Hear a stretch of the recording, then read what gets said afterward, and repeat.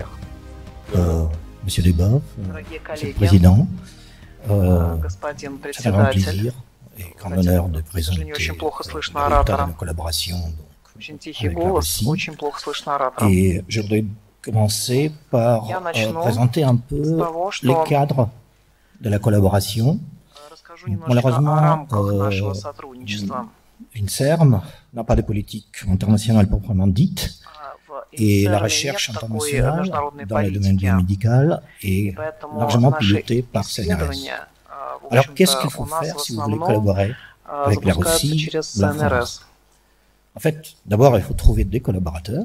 Et après, il y a des appels, appels d'offres qui permettent de structurer соответственно, cette collaboration устроить et тендер, faciliter структурировать l'échange de э, такое personnel сотрудничество. et avoir un peu d'argent pour la А, И, recherche. конечно, Donc on нужны деньги, это commence понятно, avec для того, чтобы euh, что-либо une начать. collaboration euh, du type de type de colla- collaboration simple, У qui нас s'appelle есть projet а, простое сотрудничество, projet de collaboration scientifique, так ou projet называемый de recherche проект. commune. et euh, c'est des projets qui sont très simples, d'habitude pour, un an, pour deux ans. Si la collaboration démarre bien, on passe à une autre forme de collaboration qui est le développement des recherches internationales. C'est une espèce de club de discussion qui réunit globalement des, des dizaines de laboratoires, dont le forum de, de résultat, c'est de, de mettre ensemble un partenaire potentiel. и более-менее совмещение потенциальных партнеров. Donc c'est le laboratoire Ormur qui réunit э, d'habitude лаборатория тоже обычно это вот еще один такой уровень. La Russie, э, допустим, во Франции и в России такая открытая лаборатория, и des échanges de chercheurs, здесь э, thèses, лаборатории работают э, очень тесно, в тесном сотрудничестве, обмениваются и людьми, и исследованиями, результатами исследований, работами. И, finalement, donc, il y a les unités mixtes, и существуют такие э, совместные такие команды, и Смешанные команды – это тоже уже международное сотрудничество.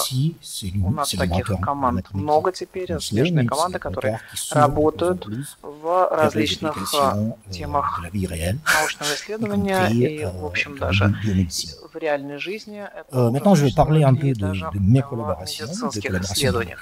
Теперь я буду говорить о тех видах сотрудничества, э, в котором участвовал сам. Au plan des recherches, euh, internationales Это euh, международное исследование, которое réunit une было vingtaine запущено. d'équipes Там где-то э, 20 команд un peu в нем partout. участвовало. en France, И из euh, Франции, en Russie, и mais из aussi dans d'autres России. pays de, de l'ex-Union soviétique. И Et donc из le других but стран, de ces а, recherches, donc, c'est бывшего de, c'est Советского de- Союза. c'est- c'est le groupement, c'est de réunir les chercheurs э, qui мы travaillent sur les mécanismes précoces объединили здесь dans les э, pathologies всех humaines. исследователей, которые Euh, bien évidemment, э, notre connaissance de ces работали, mécanismes qui sont à la base du développement а, des pathologies в общем-то, по э, теме nous ранней permettra профилактики, раннего euh, de предупреждения développer э, клеточных euh, молекулярных des- des, des патологий. dépistages rapides et trouver Э, Ну, probablement конечно, les во-первых, médicaments qui нужно sont было efficaces э, dès le début de, говорить de о la maladie. об Donc on улучшении organise системы euh, des colloques диагностики tous les ans. и дальше уже, Donc конечно, о cette предупреждении. euh, collaboration euh, Это qui a démarré сотрудничество en 2007 Началось в a 2007 résulté году, en plus de 80 publications communes. и мы выпустили Э, примерно 80 Il y a, совместных on a obtenu публикаций. des dizaines de, de- de subventions au Получали niveau national, десятки international, субсидий européen. различных Donc, и il y a европейских, и 100 международных. brevets qui étaient déposés, une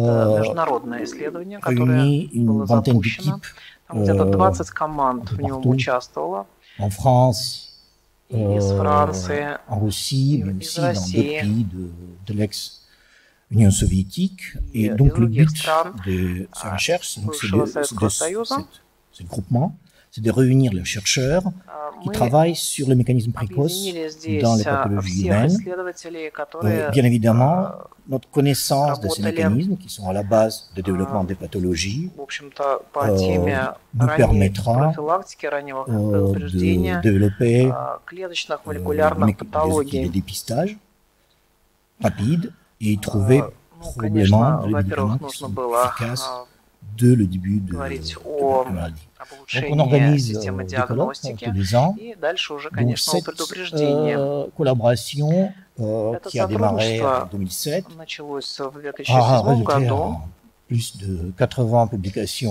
des gènes et à l'Université de Moscou. с Donc, Институтом euh, э, nous, биологии, on travaille генетической биологии в Москве. sur euh, les mécanismes précoces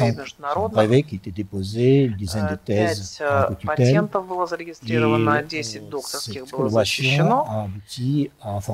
de, работаем des cancers. над On ранним s'intéresse tout а,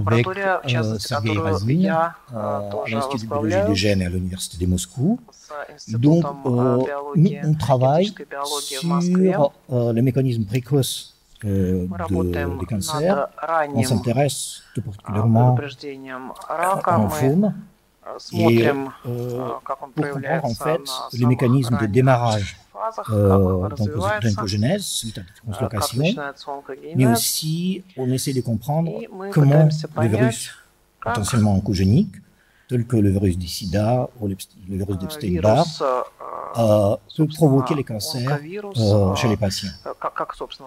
Là, je vais vous parler de quelques résultats. Donc, ce sont des résultats scientifiques. Et donc, s'il y a des problèmes de suffisamment clairement, donc n'hésitez pas à m'entendre. Ну и э, я, конечно, могу говорить Alors, об этом долго, э, если Il я est connu э, уже que буду говорить слишком le долго, вы translocation можете э, меня Mhm. прервать, provoque так что точно как есть, des cancers. если есть у вас вопросы. c'est connu depuis 100 ans, donc c'est Э, Вот уже Théodore э, еще Bouvary qui a Теодор découvert Бовери, ça en 1914. который в Mais 1914 la question est году Et bien évidemment, открыл э, вот oh, э, on peut это imaginer que явление. les translocations, donc euh, la situation où deux chromosomes échangent des bras provoque la formation des gènes chimériques. Donc c'est des gènes qui ont des cibles erronées, qui ont la population qui est complètement correcte, et donc ça provoque l'oncogénèse.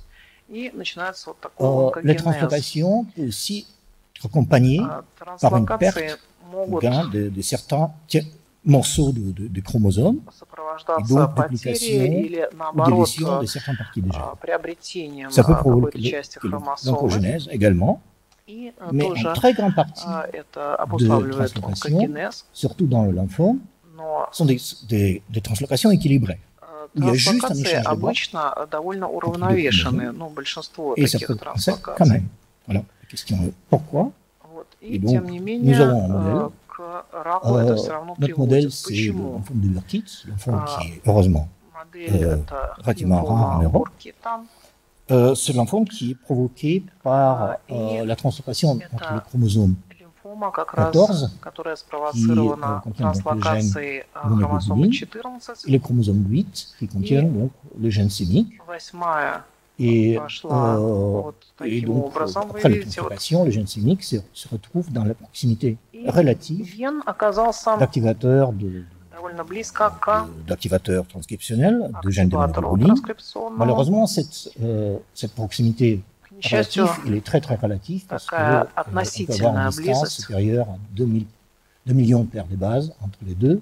там Et довольно c'est большое difficile все-таки d'expliquer. расстояние. Donc, это, diffi- il est difficile d'expliquer нельзя говорить о l'activation прямом transcriptionnelle соседстве. du gène sémique Но, juste тем не par менее, activation de l'action de l'activateur. ген семик так вот А, расположен. Est-ce qu'il y a d'autres hypothèses Есть ли Et какие-то oui, гипотезы? Parce qu'en Есть fait, гипотезы. chaque chromosome a sa place. Каждая dans хромосома les имеет э, свое Et место. C'est И- quelque chose qui, qui, qui est connu depuis de, presque de, des 100 ans, Это euh, известно sauf que c'était уже profondément oublié очень сильно et давно, ressorti но grâce aux это travaux уже de давно и chercheurs хорошо allemands забыто. Thomas Kramer. Et donc, en fait, chaque chromosome a Et- sa place dans le noyau. Et donc, on voit ici, par exemple, Мы le видим chromosome здесь, 8, qui est когда, к périphérique, сожалению, le chromosome 14 отворачивается qui est à лектор l'intérieur от du noyau. Qu'est-ce qui se микрофона, passe après вообще la не слышно translocation ничего. Alors, est-ce Что que происходит? le chromosome 8 va dans le А, centre Хромосома 14 8 идет va ли vers la она в périphérie центр, ou il reste à leur place Parce qu'en fait, si on Или mesure остается на Le noyau on perd des bases. C'est juste Krakow, on perd des bases. Pas beaucoup. Et pourquoi c'est important? Et c'est important parce qu'en fait, le noyau, c'est une structure qui est très comportementalisée. Et en fait, il y a plein de choses qui se passent dans les endroits précis à l'intérieur du noyau. И donc, si vous êtes localisé dans endroits où il n'y a rien, on ne pas de transcription, il y a très peu de chances que les gènes soient transcrits et vice-versa, si vous localisez euh, vos gènes l'endroit où il n'y a pas de transcription vers le centre du, noyau, il y a de très fortes chances que les gènes seront activés. Et donc, nous avons regardé place, nous avons vu que le de euh, le gène zénith, euh, est déplacé des périphéries des noyaux, où il se trouve dans les ovocytes normaux, vers les centres des noyaux, euh, après la translocation indiqué par la flèche. Alors qu'est-ce que ça donne? Ça donne un, effet très intéressant.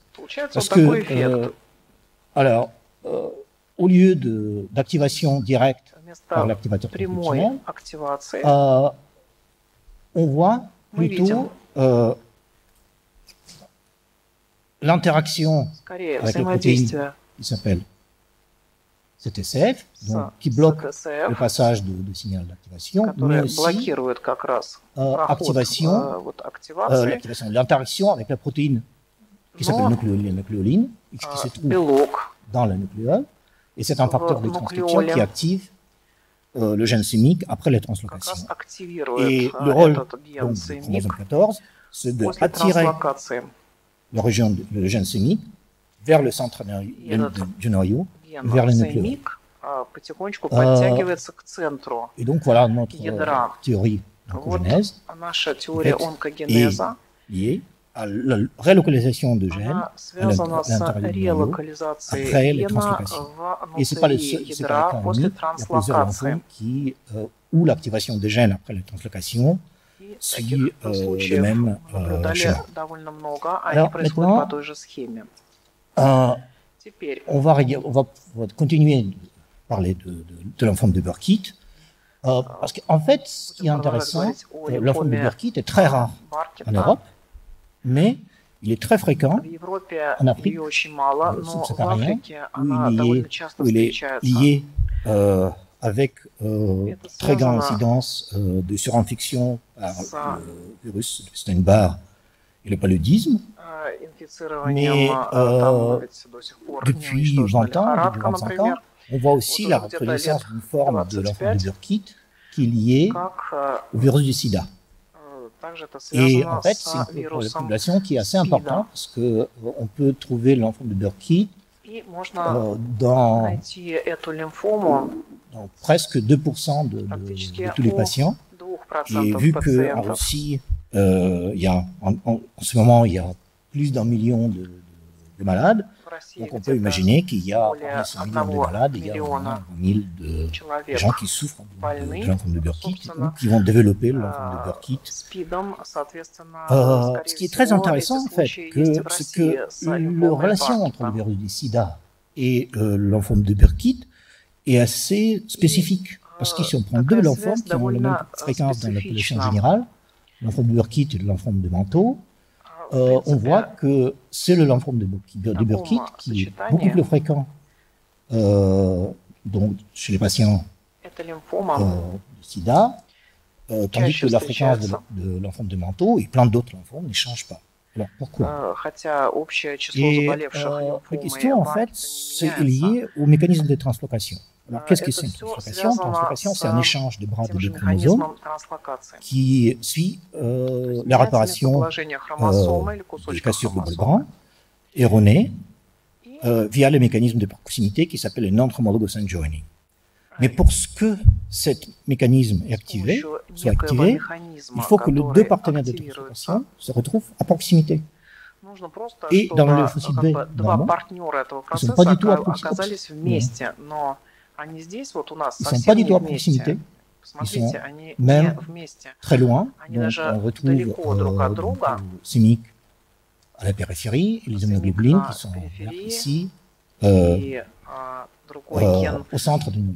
Alors, si on traite lymphocyte B avec le virus du sida, qui n'infecte pas lymphocyte B, on voit que le gène sémique se relocalise vers les centres de SPIDA, où il se trouve maintenant à côté de gènes immunoglobulines, son partenaire potentiel des translocations. Et donc, on, voit que la fréquence de cette relocalisation augmente dix fois. Alors, pourquoi?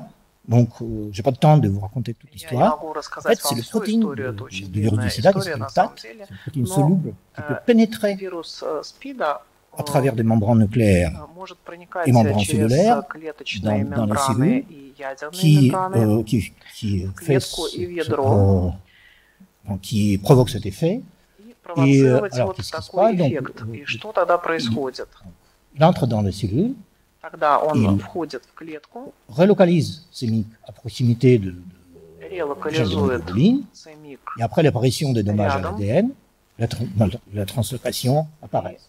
Donc voilà les étapes de possession.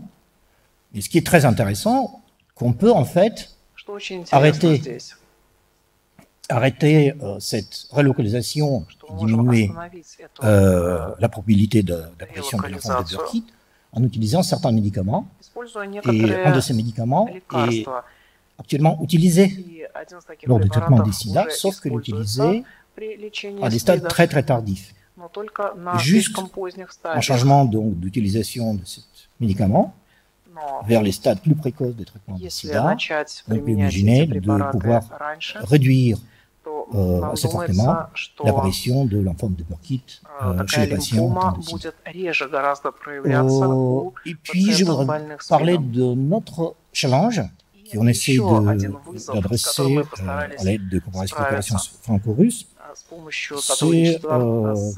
c'est une tendance dans la recherche biomédicale,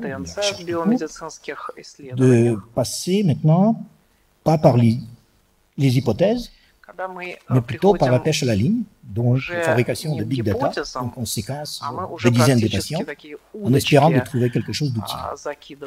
Sauf que pour trouver quelque chose d'utile, il faut pouvoir analyser ces données, ces terabytes de données. Et pour pouvoir analyser ces terabytes de données, il faut savoir poser des questions intelligentes.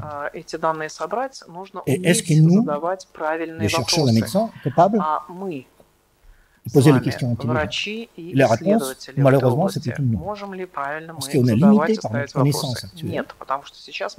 Et ce qu'on retrouve après l'analyse de data, c'est assez trivial. C'est quelque chose qui était déjà découvert il y a des dizaines d'années par, par des chercheurs qui ont utilisé dix fois d'argent, pour faire la même chose.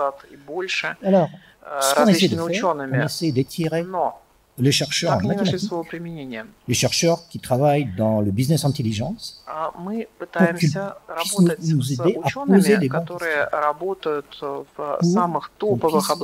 avoir de nouvelles visions sur les données, donc, on essaye de, créer une structure qui va s'occuper de, ce traitement des données biomédicales euh, sur la base aussi donc, de laboratoires Consley А, лаборатория Фонсле, а, в частности, она при СНРС будет работать. Вот. Я здесь вот остановлюсь. Посмотрите, это несколько а, наших сотрудников. Это и французские, и российские сотрудники, наши коллеги. Спасибо за внимание.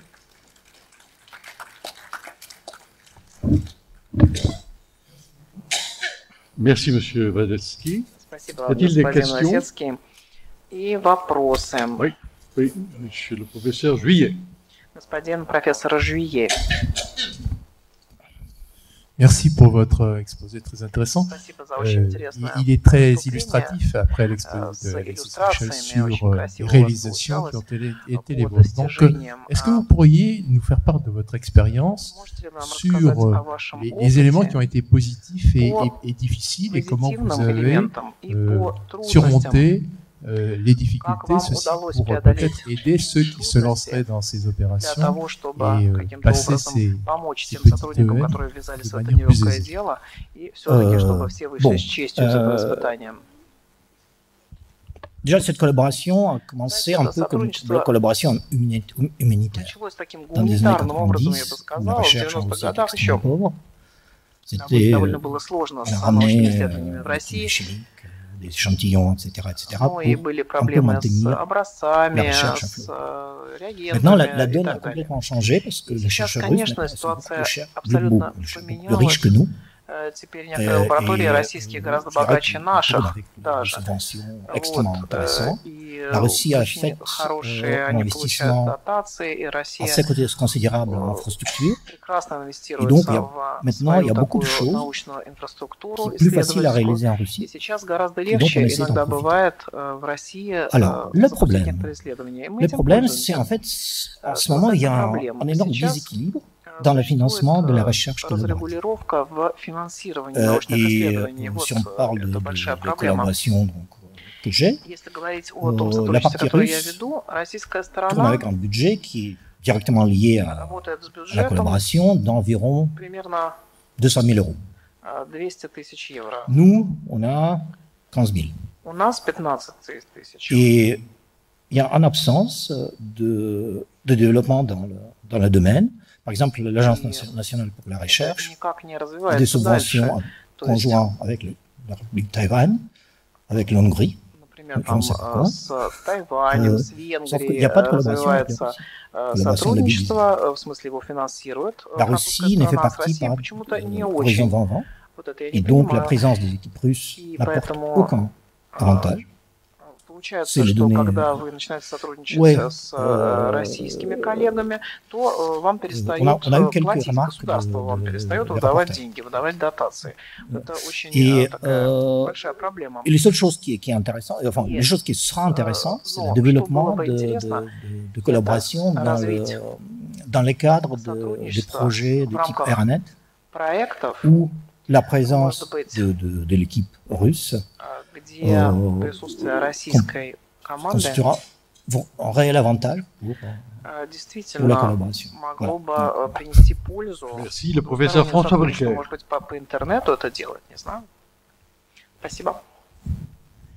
Merci, Monsieur le Président. François Bricaire de Maladies infectieuses à, Paris.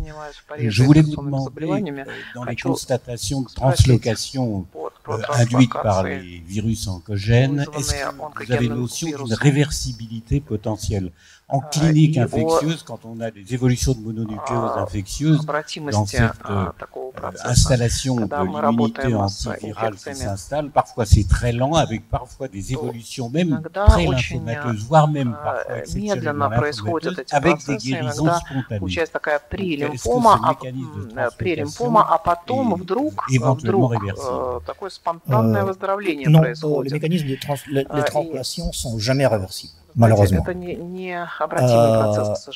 parce que ça crée une structure qui n'est plus sujet à la régulation de type normal. Les seules choses qu'on peut, voir, c'est la sélection naturelle. Parce que la transplantation doit donner un avantage réel à la cellule qui puisse proliférer plus vite que les autres. клетки для sortir того, des чтобы contrôles, она euh, размножалась de- быстрее, des чем contrôles de- другие, и она de выходит prolifération из-под imposés контроля, aux autres cellules du э, corps. в частности, Et par exemple, трансплантационного. euh, dans les cas de, des régressions de, de, de tumeurs, В c'est случае très souvent регресса, c'est l'immunité э, в случае уменьшения qui, опухоли, euh, donc, qui joue un rôle positif э, en, éli- en позитивную éliminant donc, роль c'est- c'est les cellules qui portent les может translocations. сыграть такой процесс, то есть Спасибо. Жак, спасибо. убирают транслокацию. Э, спасибо большое за вашу презентацию. Sorry. Merci de votre эм, présentation. Скажите, пожалуйста, какая ваша точка зрения? Как вы объясняете тот э, факт, э, достаточно хорошо известный, в том, что в, среди лиц, страдающих СПИДом, проявляется достаточно часто лимфомобар? Каково ваше объяснение? Мое объяснение этого феномена заключается в том, что лимфомобар это происходит в результате определенной транслокации. И э, вирус СПИДа, точнее, блок CAT, который является одним из компози- компонентов, одной из компонентов вируса СПИДа, вызывает изменения ядер, ядерной архитектуры таким образом, что он облегчает noyau, э, euh, ce эту qui транслокацию. facilite cette translocation. То есть транслокация, в принципе, да, вещь очень, очень редкая. Translocation Если est вы très rare. создаете конфигурацию Et клетки, si vous которая, regardez la translocation configuration происходит de la проще, cellule où se- соответственно, вот вы, s'opère la вы, вы таким translocation, образом vous voyez, э, sоздаете ситуацию, когда euh, транслокация vous происходит. créez une situation pour que la translocation ait lieu. Merci, le, le professeur Wessé. Oui, Jacques Roisset, euh, cancérologue Académie de médecine, ici, là. Врач. Donc, здесь. tr- très concrètement, je voulais vous demander cette collaboration franco-russe, Вопрос. Вот это ça s'est traduit par des сотрудничество transferts de между personnel, Францией и euh, Россией des Russes заключается euh, в en France, обмене et réciproquement, клеточными des данными publications в communes обе aussi. стороны, совместными Oui, публикациями. Такой Oui, реальный donc il y a- выход. depuis, euh, depuis que le Да, le да, laboratoire конечно. franco-russe existe, on a С publié того момента, как euh, э, существует эта система, disons, une trentaine de publications мы опубликовали где-то avec les deux около parties, 30 euh, avec публикаций, le laboratoire franco-russe en titre de publication. э, и где участвовали о- о- обе стороны. Le professeur Albert ben, euh, Benamou. Альбер Бенаму, Oui. Avez-vous observé euh, une translocation éventuelle sur les, les, les sarcomes de Kaposi транслокация euh, par rapport саркомы au lymphome de композита, Burkitt dans э, с- по le поводу VIH, проблемы euh, les virus oncogènes, herpétiques лимфомы ou Бёркета, VIH Ouais, euh, как on n'a это за- pas fait ça взаимоотносится. On Мы se этого concentre не sur- делали. sur le Потому lymphome, что мы mais c'est un, концентрируемся c'est un на sujet très intéressant. лимфоне. И, кстати, ваше предложение очень неплохое. Надо его Le рассмотреть. docteur Alexis Michel. Et juste pour revenir ce que, sur ce que tu disais, Yegor, tout à l'heure sur la participation de la Russie. à- au Добавляю Euh, об участии России и Франции, может быть, будет дополнительный проект э, с э, российской командой, потому что уровень успеха э, проекта с участием российских ученых гораздо выше среднего значения уровня успеха любого другого проекта с участием какой-либо другой страны или э, проведенного на национальном уровне évidemment, de temps en temps, il peut y avoir des... Время от времени могут быть новые проекты, поэтому давайте не забывать об этом.